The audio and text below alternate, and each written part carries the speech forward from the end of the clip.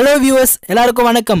இன்னைக்கு வீடியோ நம்ம சேனலோட ஸ்பெஷாலிட்டி எக்ஸ்ட்ரீம் ஃபேக்டோடைய எபிசோட் நம்பர் ஃபோர் நீங்கள் நம்ம சேனலுக்கு புது வியூவராக இருந்தால் இதுக்கு முன்னாடி அப்லோட் பண்ண எக்ஸ்ட்ரீம் ஃபேக்டோடைய மற்ற மூணு எபிசோட பிளேலிஸ்ட்டை இந்த வீடியோட என் ஸ்க்ரீனில் வைக்கிற மறக்காம கிளிக் பண்ணி பாருங்க. உங்களுடைய பொது அறிவை மேம்படுத்திக்க பெஸ்ட் சேனல் இது. ஸோ இப்போவே இந்த செகண்டை இந்த வீடியோக்கு ஒரு லைக் பண்ணி அப்படியே சேனலை சப்ஸ்கிரைப் பண்ணி கூடவே ஆளுன்ற பெல் ஐக்கானை கிளிக் பண்ணிக்கோங்க. இனி நம்ம சேனல்ல இருந்து எந்த வீடியோவையும் மிஸ் பண்ணாமல் இருக்க.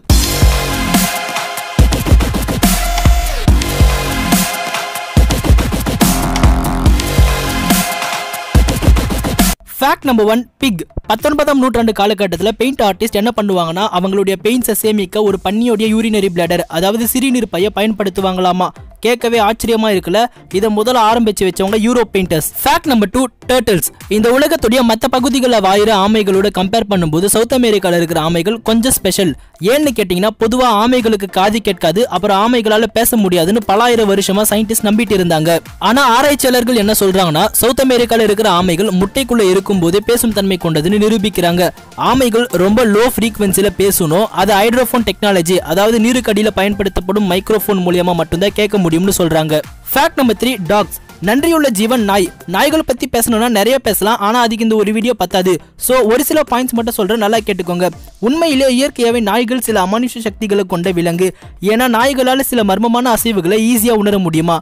அது மட்டும் இல்லைங்க டாக்டர்ஸ் பேஷண்ட்ஸை டயக்னைஸ் பண்ண பிறகுதான் மனுஷங்களுக்கு கேன்சர் இருக்குன்னு சொல்லுவாங்க. ஆனா நாய்கள் அதோடைய கூர்மையான மோப்ப சக்தியை பயன்படுத்திய கேன்சர் இருக்கிற மனுஷங்களை ஈஸியா அடையாளம் கண்டுபிடிச்சிருமா? நாய்கள் குளிச்சா எல்லாரும் கல்லு தடிக்கிறாங்க. நீங்க ஒரு விஷயத்தை புரிஞ்சுக்கணும். நாய்கள் காரணமே இல்லாம குலைக்காதா ஒன்று அது நம்மளை எச்சரிக்கை பண்ணும். இல்லைன்னா நம்மளை பாதுகாக்க முயற்சி பண்ணும். சோ இனிமே நாய்களை கல்லால் அடிக்காதீங்க viewers fact number four John Resnikoff John ரெஸ்னிகாஃப்ன்றவர் ஒரு பிசினஸ் மேன் அவர் என்ன பிசினஸ் பண்றாருன்னா சாதனை படைச்ச வரலாற்று நாயகர்கள் அதாவது ஹிஸ்டாரிக்கல் செலிபிரிட்டிஸ் உடைய தலைமுடியை சேகரிக்கிறத ஒரு பிசினஸ் மாடலா உருவாக்கி இப்ப சொசைட்டில பெரிய ஆளா இருக்காரு. George Washington John F Kennedy Napoleon Beethoven Chopin அப்புறம் நிலாவில் முதல்ல கால வச்ச நீல் ஆம்ஸ்ட்ராங்னு நூறுக்கும் மேற்பட்ட ஹிஸ்டாரிக்கல் செலிபிரிட்டிஸ் உடைய தலைமுடியை வச்சுட்டு இருக்காரு. அவங்களுடைய தலைமுடிகளை இப்ப டிஎன்ஏ ரிசர்ச்சுக்காகவும் பயன்படுத்துறாங்களாமா? இதன் மூலியமா இவரும் கின்னஸ் வேர்ல்ட் ரெக்கார்ட் படிச்சவங்களுடைய பட்டியலில் ஒருத்தரா இடம் பிடிச்சிட்டாரு. ஃபேக்ட் நம்பர் ஃபைவ் பீஸ் தேனி கூட்டங்களுக்குன்னு ஒரு ராணி இருப்பாங்கன்னு எல்லாருக்கும் தெரியும். அந்த தேனி கூட்டங்களுடைய ராணியால அஞ்சு வருஷம் வரைக்கும் உயிர் வாழ முடியுமா? அந்த ராணி வந்து சம்மர் சீசன்ல ரொம்ப பிஸியா இருப்பாங்களாம்.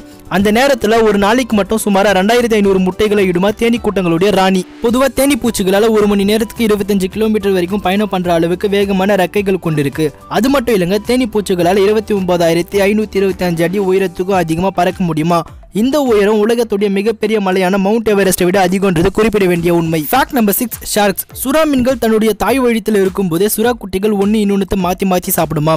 கிரீன்லாண்டில் இருக்கிற சுறா மீன்களால் குறைஞ்சது இருநூத்தி எழுபத்தி ரெண்டு வருஷம் வரைக்கும் உயிர் வாழ முடியுமா? அங்க இருக்கிற சில சுறா மீன்களால் ஐநூறு வருஷத்துக்கும் மேல உயிர் வாழ முடியும்னு சொல்றாங்க. அட் பிரசன்ட் இந்த பிரபஞ்சத்திலேயே இந்த உயிரினத்துக்கு தான் லைஃப் ஸ்பேன் ரொம்ப அதிகம். இருநூறுல இருந்து ஐநூறு வருஷம் வரைக்கும் சும்மாவா? Fact number seven blue whales இந்த உலகத்துடைய மிகப்பெரிய உயிரினம். அது மட்டும் இல்லாம ரொம்ப சத்தமிடக்கூடிய உயிரினம். திமிங்கலங்கள் ஆயிரத்தி அறுநூறு கிலோமீட்டர் தூரத்துல இருந்தும் ஒன்னு இன்னொரு திமிங்கலத்தோடு பேசுமா?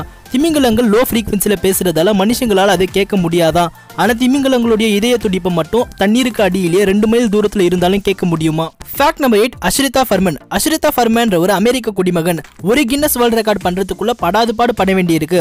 ஆனா இவரு இந்த உலகத்துல எல்லாரையும் விட அதிகமான கின்னஸ் வேர்ல்ட் ரெக்கார்ட் பண்ணி அதுல ஒரு ரெக்கார்ட் பிரேக் பண்ணிருக்காரு மனுஷன் இதையே ஒரு பழப்பை வச்சு சுத்திட்டு இருக்கிறாரு போல. உண்மையாவே இவர் செம கிரேட் தான். இது வரைக்கும் ஆறுநூறுக்கும் மேற்பட்ட கின்னஸ் வேர்ல்ட் ரெக்கார்ட் பண்ணியிருக்காரு. ஆனா அதுல இருநூத்தி இருபத்தி ஆறு ரெக்கார்ட்ஸ் மட்டுமே இன்னும் முறியடிக்கப்படலையாமா? Fact number nine banana bananas வந்து மனுஷங்களுக்கு ஏற்படுற பக்கவாதம் அப்புறம் மாரடைப்பு அபாயத்திலிருந்து ஒரு வகையில பாதுகாக்குமா? காரணம் அதுல இருக்கிற பொட்டாசியம் கண்டென்ட்டுடைய லெவல் இயற்கையாவே பனானாஸை மஞ்சள் கலர்லயும் பச்சை கலர்லயும் பார்த்துருப்போம். ப்ளூ கலர்ல பார்த்துருக்கீங்களா ஆமா விவஸ் பனானாஸை இருட்டு பகுதிகளில் சூரிய வெளிச்சமே படாத இடத்துல வச்சு வளர்த்தாலோ இல்ல வச்சுட்டு இருந்தாலோ கண்டிப்பா அந்த பனானா ப்ளூ கலர்ல மாறிடுமா? அதுக்கு காரணம் சூரிய வெளிச்சத்திலிருந்து கிடைக்கிற குளோரோஃபில் கிடைக்காததால தான் சயின்டிஸ்ட் நிரூபிச்சிருக்காங்க. ஃபேக்ட் நம்பர் டென் மூன் பல கோடி வருஷங்களுக்கு முன்னாடி டைனோசஸ் வாய்ந்த காலகட்டத்தில் நிலாவில் எரிமலைகள் இருந்திருக்கலாம்னு நாசா விஞ்ஞானிகள் நம்புறாங்க. இது சம்பந்தப்பட்ட விஷயமா எவிடன்ஸ் இருக்குன்னு சில பேர் சொன்னாலும் அதுக்கு வாய்ப்பு இல்லைன்னு பல தரப்புல இருந்து எதிர்ப்பு தெரிவிச்சிருக்காங்க. நம்ம பூமியில நிலநடுக்கம் ஏற்படுதுல அதே மாதிரி நிலால நிலாநடுக்கம் ஏற்படுமா? இதுல இருந்து என்ன புரியுது? நிலாவுக்கு கூட இயற்கையாவே சில பேரிடர்கள் ஏற்படும்னு புரியுது. Fact number eleven queen Elizabeth two Britain நாட்டுடைய ராணி எலிசபெத் டூ இருக்காங்களே அவங்களுடைய ஹேண்ட் பேக்கை வச்சு அவங்க எந்த எண்ணத்தில் இருக்கிறாங்க என்ன பண்ண போறாங்கன்றத பேசாமலே அங்க இருக்கிற ஸ்டாஃப்ஸ்க்கும் வேலைக்காரங்களுக்கும் உணர்த்திடுவாங்களாம். கிட்டத்தட்ட குவீன் எலிசபெத் டூ அவங்களுடைய ஹேண்ட்பேக்கை பயன்படுத்தி பாடி லாங்குவேஜ் மூலியமாவே அவங்களுடைய உத்தரவு என்னன்றதை தெரிவிச்சிடுவாங்க. உதாரணத்துக்கு ஒரு கெஸ்ட் கிட்ட பேசிட்டு இருக்கும்போது அவங்களுடைய ஹேண்ட்பேக்கை ஒரு கையில இருந்து வேற கைக்கு மாத்தினாங்கன்னா குவீன் எலிசபெத் டூ உரையாடலை ரொம்ப சாந்தமா முடிக்க போறாங்கன்னு அர்த்தம். அதே ஹேண்ட்பேக்கை கீழே போட்டுட்டாங்கன்னா உரையாடலை பாதியில நிறுத்த போறாங்கன்னு அர்த்தமா. இந்த உலகத்திலே தன்னுடைய ஹேண்ட்பேக்கை யாராலையும் இப்படி ஒரு கம்யூனிகேஷன் டிவைஸா பயன்படுத்த முடியாது தானே viewers fact number twelve smoke alarm clock alarm கேள்விப்பட்டிருப்போம். அது என்ன ஸ்மோக் அலாரம் எல்லாரும் நல்லா கேட்டுக்கோங்க. இப்போ நீங்க ஒரு ஹோட்டலில் தங்கிட்டு இருக்கிறீங்கன்னு நினைச்சுக்கோங்க. திடீர்னு அந்த இடத்துல தீ பிடிச்சிடுது. அப்போ எமர்ஜென்சி அலாரமா ஆன் பண்ணுவாங்க. அப்போ கேட்குற சத்தத்தால நம்ம அலர்ட் ஆகி உஷாரா ஓடிடுவோம். இதே காது கேட்க முடியாதவங்க என்ன பண்ணுவாங்க? அவங்களுக்காகவே ஜப்பான் சயின்டிஸ்டும் இன்ஜினியர்ஸும் கண்டுபிடிச்ச டிவைஸ் தான் இந்த ஸ்மோக் அலாரம் இந்த டிவைஸ் என்ன பண்ணுனா ஆபத்தான சுச்சுவேஷன்ல புகையை வெளியே அனுப்பும். அந்த புகையை ஸ்மெல் பண்ணும்போது ஆட்டோமேட்டிக்கா சிரிப்பு வர ஆரம்பிச்சிடுமா? இதன் மூலியமா காது கேட்க முடியாதவங்கள ரொம்ப ஈஸியாக காப்பாற்ற முடியும். அதை ப்ராக்டிக்கலாகவும் செயல்படுத்தி காட்டியிருக்காங்க. சொல்கிறாங்க இந்த இன்வென்ஷனை உருவாக்குனதால ரெண்டாயிரத்தி பதினோராம் ஆண்டில் ஐஜி நோபல் பிரைஸை தட்டி தூக்கிட்டாங்க Japanese fact number thirteen babies புதுசாக பிறந்த குழந்தைகளை யாருக்கு தாங்க பிடிக்காது? புதுசாக பிறந்த கை குழந்தைக்கு பிறந்த முதல் ஒரு மாதம் வரைக்கும் அவங்களுடைய கண்களுக்கு எல்லாமே பிளாக் அண்ட் ஒயிட்டாக தான் தெரியுமா? மனுஷங்களுடைய உடம்புல இரநூத்தி ஆறு எலும்புகள் இருக்கும்னு எல்லாரும் படிச்சிருப்போம். உண்மை என்னன்னா பிறந்த குழந்தைக்கு முன்னூத்தி அஞ்சு எலும்புகள் தான் இருக்குமா? வளர வளர எல்லா எலும்புகளும் ஒன்னா ஜாயின் ஆகுமா? நம்ம வளர்ந்த பிறகு மொத்தமாக இரநூத்தி ஆறு எலும்புகள் நம்ம உடம்புல இருக்குமா? ஃபேக்ட் நம்பர் ஃபோர்டீன் ரெயின்போ பூமியில ஏற்பட்ட அதிசயமான கண்ணுள்ள காட்சி. அதுவும் மழை காலத்துல தலையை தூக்கி வானத்தில் இருக்கிற ரெயின்போவை பார்க்குற ஃபீலிங்கே வேற மாதிரி இருக்குள்ள வியூவர்ஸ் இந்த உலகத்தில் இருக்கிற மற்ற பகுதிகளை விட அமெரிக்காவில் இருக்கிற அவாயின்ற பகுதியில் தான் அதிகமான ரெயின்போஸை பார்க்க முடியுமா? ஒட்டுமொத்த ரெக்கார்ட்ஸும் என்ன சொல்லுதுன்னா உலகத்துடைய மிகப்பெரிய ரெயின்போ இங்கிலாந்தில் இருக்கிற ஷெஃபீல்டுன்ற இடத்துல மார்ச் பதினாலு ஆயிரத்தி தொள்ளாயிரத்தி தொண்ணூற்றி நாலாம் ஆண்டில் உருவாகிச்சுன்னு பதிவாகி இருக்கு நீங்கள் எப்போ ரெயின்போவை பார்த்தாலும் சரி இப்போ நான் சொல்கிற விஷயத்தை நல்லா நோட் பண்ணுங்கள் எப்பவுமே சூரியன் இருக்கிற எதிர் திசையில நாற்பத்தி ரெண்டு டிகிரி ஆங்கிள் தான் ரெயின்போ காட்சி அளிக்கும் ஃபேக்ட் நம்பர் பிப்டீன் டைமண்ட் எல்லாருக்கும் தெரியும் டைமண்ட்ஸ் வந்து ரொம்ப விலை உயர்ந்த பொருள். அது மட்டும் இல்லைங்க முள்ள முள்ளால தான் எடுக்க முடியும்னு சொல்லுவாங்க. அதே மாதிரி ஒரு டைமண்டை இன்னொரு டைமண்டால தான் கீற முடியுமா? அந்த அளவுக்கு ரொம்ப கடினமான பொருள் டைமண்ட் நம்மள மாதிரி மனுஷங்களுக்கு பர்த் டேட் அப்படின்னு ஒன்று இருக்குல்ல. ஆனா டைமண்ட்ஸ்க்கு பர்த் மந்த் அதாவது பிறந்த மாசம் தான் தெரியுமா? டைமண்ட்ஸோடைய பிறந்த மாசம் April fact number sixteen onion வெங்காயத்தை அரைஞ்சா கண்ணுல தண்ணி வரும்னு எல்லாருக்கும் தெரியும். ஏன் வருதுன்னு யாருக்காவது தெரியுமா? அப்படி தெரியாதவங்க யாராவது இருந்தா தெரிஞ்சுக்கோங்க. வெங்காயத்துல லாக்ரிமேட்டரி ஃபேக்டர் சிந்தேஸ்னு ஒரு என்சைம் இருக்கு. அது என்ன பண்ணுனா வெங்காயத்தில் இருக்கிற அமினோ ஆசிடை சல்ஃபெனிக் ஆசிடாக கன்வெர்ட் பண்ணிடும். அதில் இருக்கிற சல்ஃபெனிக் ஆசிட் நிலையா இல்லாததால தியோ சல்ஃபேனட்டாவும் சிங்க் ப்ரோபேன் ட்ரையால் எஸ் ஆக்சைடாவும் பிரேக் ஆகிறதால தான் வெங்காயத்தை அரைஞ்சா கண்ணில் இருந்து தண்ணி வருது. ஃபேக்ட் நம்பர் செவன்டீன் பீஜன் பண்டை காலத்துல புறாக்களை தூது விடுறதுக்காக பயன்படுத்தினாங்கன்னு நாம நிறைய கேள்விப்பட்டிருப்போம். ஆனா புறாக்கள் கிட்ட இருக்கிற வர்த்தான பொருள் ஒன்று இருக்கு அது என்ன தெரியுமா உங்களுக்கு?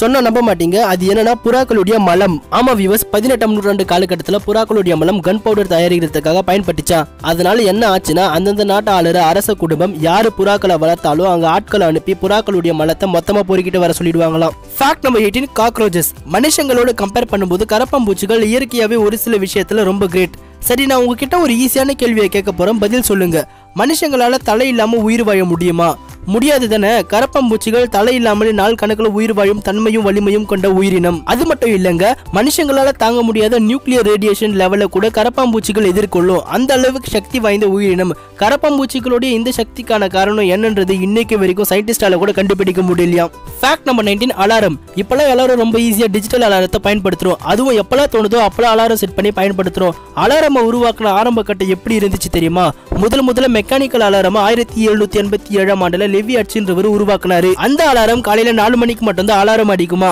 இதை மேல மேல ஆராய்ச்சி பண்ண இப்ப ரொம்ப ஈஸியா அலாரம் பயன்படுத்துற நிலைமை உருவாகிடுச்சு. ஃபேக்ட் நம்பர் டுவெண்ட்டி ஸ்னேக்ஸ் சாதாரணமான மனுஷங்க பாம்புகளை பார்த்தா செம்மையா பயந்துடுவாங்க. ஒரு சிலர் இருப்பாங்க பாம்புகளை பார்த்தா அது கையிலேயே எடுத்துட்டு விளையாடிட்டு இருப்பாங்க. இந்த ரெண்டு வகையான மனுஷங்களுக்கும் ஒரு ஹாப்பி நியூஸ் அது என்னன்னா உங்களுக்கு பாம்புகளை பார்த்தா பயம் ஏற்படுனாலும் சரி இல்ல எனக்கு பாம்புகளே இல்லாத இடம் வேணும்னு கேட்டாலும் சரி நான் சொல்ற இடத்துக்கு போயிடுங்க. நியூசிலாந்து ஐஸ்லாந்து கிரீன்லாண்ட் அண்டார்டிகா போன்ற இடங்கள்ல பாம்புகளே இருக்காதான் தைரியமா எந்த பயமும் இல்லாம சுதந்திரமா சுத்தலாம். இதை நம்பலனா நீங்களே எங்கேயாவது படிச்சு தெரிஞ்சுக்கோங்க.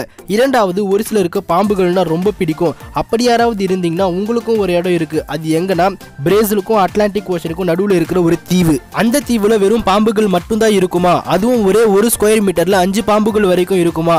அப்ப அந்த ஒட்டுமொத்த தீவுல எவ்வளவு பாம்புகள் இருக்கும் பாத்துக்கோங்க fact number twenty one Macs மேக்ஸை பொறுத்த வரைக்கும் கொஸ்டினை கொடுத்துட்டு ஆன்சரை கேட்கறதுல பழைய ஸ்டைல் ஆன்சரை கொடுத்துட்டு கொஷினை கேட்கறது தான் புது ஸ்டைல் இப்போ நான் உங்களுக்கு ஆன்சரை கொடுத்துட்டு கொஷினை கேட்குறேன் முடிஞ்சால் கொஷினை கண்டுபிடிங்க.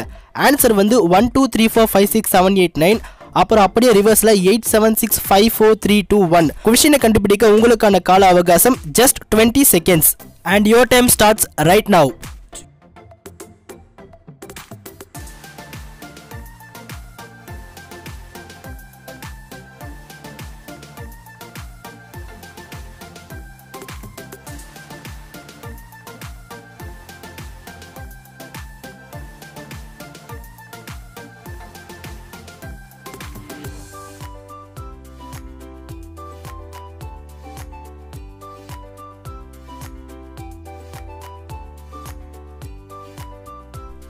சரி டுவெண்ட்டி செகண்ட்ஸ்க்குள்ள யாராவது கொஷினை கண்டுபிடிச்சிருந்தீங்கன்னா மறக்காம கமெண்ட் பாக்ஸில் கமெண்ட் பண்ணுங்க.